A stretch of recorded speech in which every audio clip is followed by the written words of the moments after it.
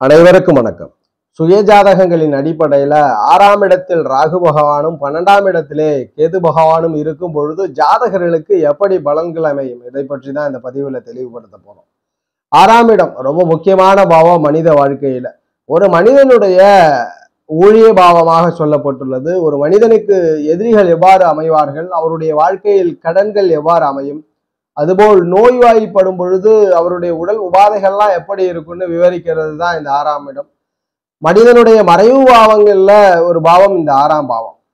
அதுபோல் ஆறாம் பாவத்துல நல்ல பலனாக ஒரு மனிதன் ஜீவனம் செய்யக்கூடிய அதாவது தன் ஜீவனம் அல்லாம பிறருடைய பிற நிறுவனங்களில் ஜீவனம் செய்யக்கூடிய பாவமும் இந்த ஆறாம் இடம் தான். இப்படிப்பட்ட இந்த ருணரோக சத்ருஸ்தானத்துல ராகு அமர்கிறார் எப்படி இருக்கும்?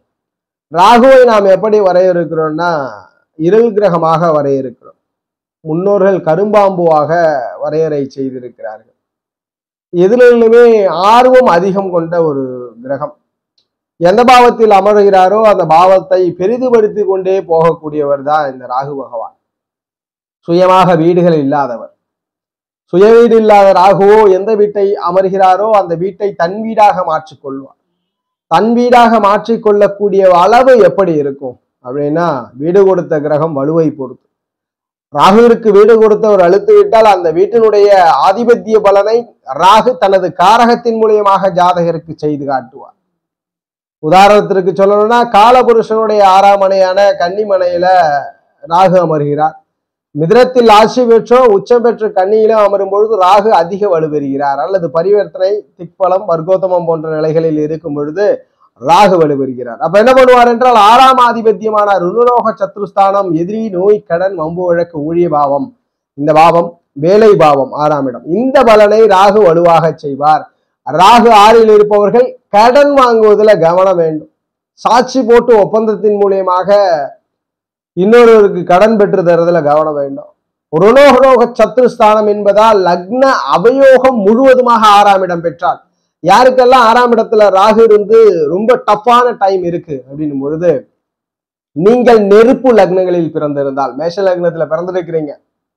சிம்ம லக்னத்துல பிறந்திருக்கிறீங்க.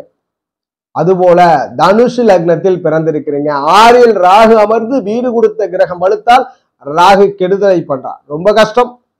ரொம்ப கெடுபலனை கொடுக்கிறார். அதுபோல் நீங்கள் அமர்ந்திருப்ப நீங்கள் காற்று லக்னங்களில பிறந்திருக்கிறீங்க. காற்று லக்னம்னா? எதை வரைய இருக்கிறோம் மிதுனத்தை காற்று லக்னமாக வரைய இருக்கிறோம் துலாத்தை காற்று லக்னமாக வரையறுக்கிறோம்.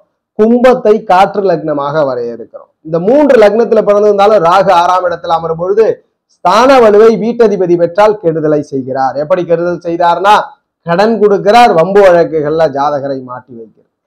அதுவே நீங்கள் பிறந்தது. ரிஷப லக்னத்துல பிறந்திருக்கிறீங்க. கடக லக்னத்துல பிறந்திருக்கிறீங்க. யோகம் செய்கிறார். அதுபோல நீங்கள் பிறந்தது. கன்னி லக்னத்துல பிறந்திருக்கிறீங்க விருச்சக லக்னத்துல பிறந்திருக்கிறீங்க. யோகம் செய்கிறார். மகர லக்னத்துல பிறந்திருக்கிறீங்க மீன லக்னத்துல பிறந்திருக்கிறீங்க. ஆறில் ராகு யோகம் செய்கிறார். இந்த ராகுவிற்கு வீடு கொடுத்தவர் வலுக்கும் பொழுது யோகம் நடைபெறுகிறது. எந்த மாதிரி யோகம் இருக்குன்னா வெளிநாடு தூரதேசத்துல வேலை வாய்ப்புகளை ஏற்படுத்தி கொடுக்கிறார். வெளிநாடு தூரதேச அமைவுகள்ல வெற்றிகளை உங்களுக்கு நிகழ்த்தி கொடுக்கிறார். ஆறாம் இடத்து ராகு. இது நெருப்பு லக்னம் மற்றும் காற்று லக்னம். இந்த ரெண்டு லக்னத்துல பிறந்தவர்களுக்கு ராகுவிற்கு வீடு கொடுத்தவர் வலுத்தால் கெடுதலை செய்கிறார். ராகு ராகுக்கு வீடு கொடுத்தவர் வலு பெறல நீசம் பெற்ற நிலையில் இருக்கிறார் அப்படின்னா நன்மையை செய்து விடுகிறார். இதுதான் விதி.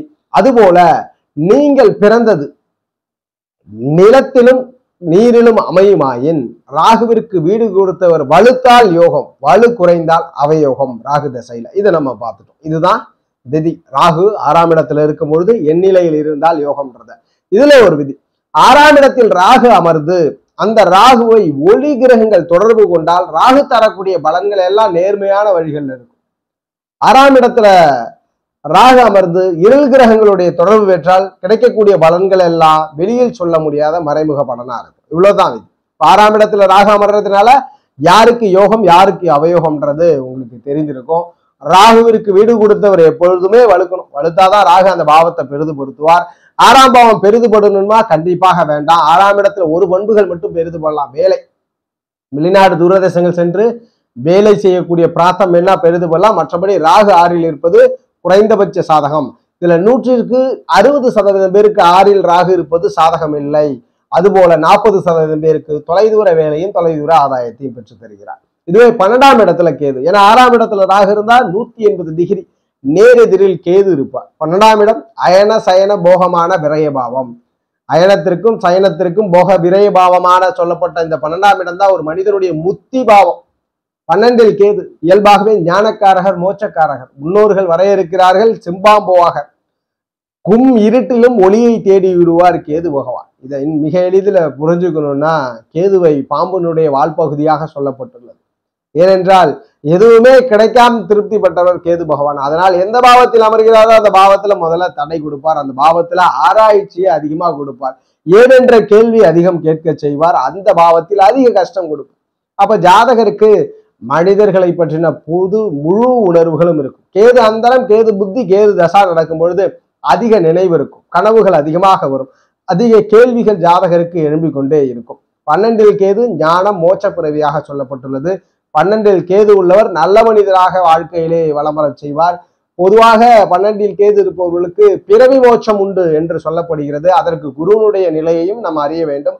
இருந்தாலும் கேது பன்னெண்டில் இருப்பது ஜாதகரை நல்ல மனிதராகவும் திறமை படைத்தவராகவும் சகல விதமான ஞான அறிவு கொண்ட நபராக மாற்றி கொடுக்கிறார்ன்றதுல எந்த விதமான மாற்று கருத்துமே கிடையாது.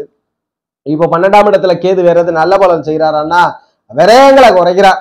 நிறைய செலவுகளை குறைப்பார் செலவு ஏற்படும் பொழுது அந்த செலவுகளை உங்களுக்கு பிரயோஜனமாக பயன்படுத்தி கொள்ளக்கூடிய ஆற்றலை கொடுப்பார். கேது பன்னெண்டில் இருப்பவர்களுக்கு விரயம் குறைவு.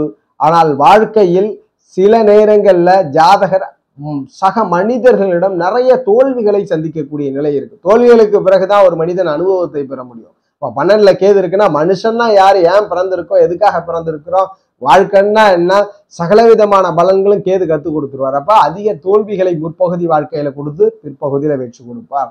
இப்போ ஓரளவுக்கு உங்களுக்கு ஆறாம் இடத்து ராகு பன்னெண்டாம் இடத்துல கேது புரிதல் இருக்கும். இதுல எப்பொழுதுமே ராகு கேதுக்களுக்கு வீடு கொடுத்தவர் அழுக்கணும். அந்த வகையில கேதுருக்கு வீடு கொடுத்தவர் அழுத்தால் கண்டிப்பாக ஜாதகருக்கு தடைக்கு பிறகு வெற்றி உண்டு. கேதுருக்கு வீடு கொடுத்தவர் அழுக்கலன்னா ஆதிபத்தியம் உடனடியாக கிடைச்சிரும். அதுபோல எப்பொழுதுமே இருள் கிரகங்களை ஒளி கிரகம் தொடர்பு கொள்வதுதான் யோக பலன் மேலும் இருள் கிரகம் தொடர்பு கொண்டுருச்சுன்னா அமானுஷயங்களும் ஜாதகருக்கு மறைமுக தொடர்புகளும் இருள் தொடர்புகளும் அதிகம் ஏற்படும். சட்டத்திற்கு புறம்பான வழிகள் அதிகமாக ஏற்படுத்தி கொடுத்துவிடும். ஓரளவுக்கு இந்த வீடியோவில் நம்ம ஆறு பன்னெண்டாம் இடங்களை பற்றி விவரித்தோம் ஜோதிட ரீதியான தகவல் அல்லது உங்களுடைய சுய ஜாதகம் சார்ந்த சந்தேகங்களுக்கு ஸ்க்ரீனில் தெரிகிற நம்பரை தொடர்பு கொள்ளுங்கள் வாழ்க வளமுடன். நன்றி.